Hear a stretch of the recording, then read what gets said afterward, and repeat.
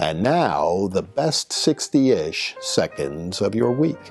Happy New Year to all. And what a great way to start the new year with a story that's really uplifting at this point. Started out tragically and looks like it's going to end up on a pretty high note. And I'm referring, of course, to the situation involving Damar Hamlin, the young NFL star who was critically injured in the game between the Buffalo Bills and the Cincinnati Bengals. And if you watch what happened in that moment, virtually every player dropped to his knees in prayer over this young man who lay gravely, gravely, gravely injured on the field.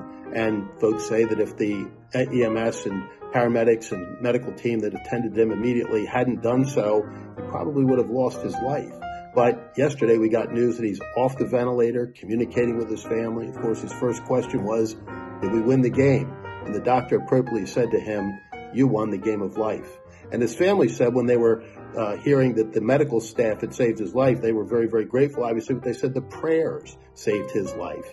This young man is a devout Christian, a really wonderful guy. My son had the privilege of playing against him in high school. He's a Pennsylvania native and my local team, Cumberland Valley, played Pittsburgh Central Catholic in the state semifinals his senior year, and so they had a chance to play against each other. And we've learned through the years what a really wonderful young guy this man is, and we're hopeful for his full recovery. But in some ways, that isn't really the story here. It's a story of miracles brought together by people joined in prayer, all doing the right thing. And meanwhile, back on the political front, there are battles all over the place for leadership positions in state legislatures and, of course, in the Congress of the United States. In my home state of Pennsylvania, we had a really unusual situation where the Democrats had a theoretical majority because they had won the most seats on election day, but because of a death and two resignations, the Republicans had the mathematical majority. And the question, of course, was who's going to control that chamber?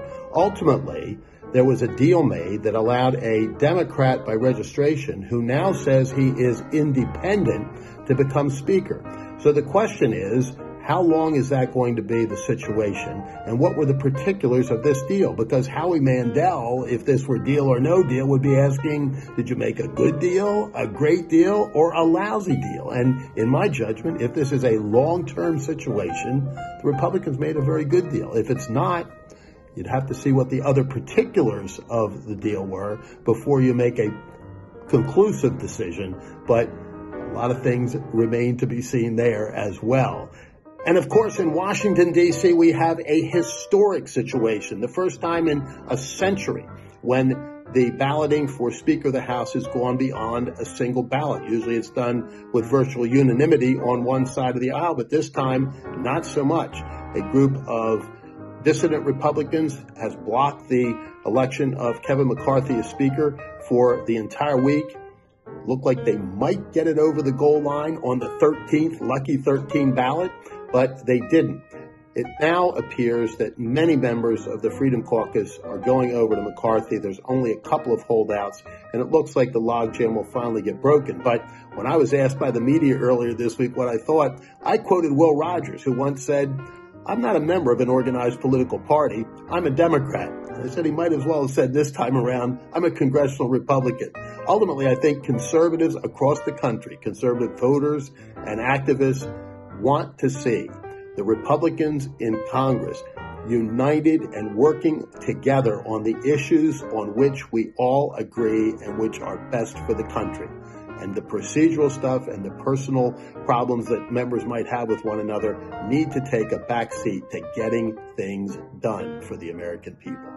And finally, it is that time of year. One of my favorite things in the whole wide world, the greatest show on earth, the Pennsylvania Farm Show starts today, a week long fiesta of honoring Pennsylvania's number one industry, agriculture, the largest indoor agriculture exposition in the country and a great time for all. So I'm hoping to be out there a lot this week and I'm hoping to see many of you at the Pennsylvania Farm Show. And finally, on a more serious note, all of us join in prayer for our United States Senator from Pennsylvania, Bob Casey, who announced this week that he's been diagnosed with prostate cancer and will undergo surgery to take care of that. He's told that he has a good prognosis. We hope that's the case. And we all pray for him because It really is the power of prayer that takes us all forward. And for now, that is the best 60 ish seconds of your week.